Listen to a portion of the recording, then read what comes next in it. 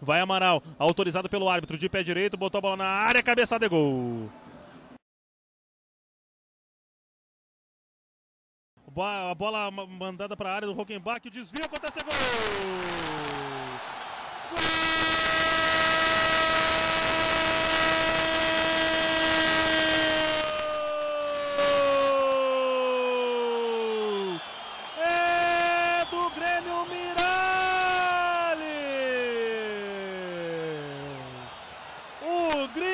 Pedido pela torcida e que teve a chance no time e tendo a oportunidade não desperdiça.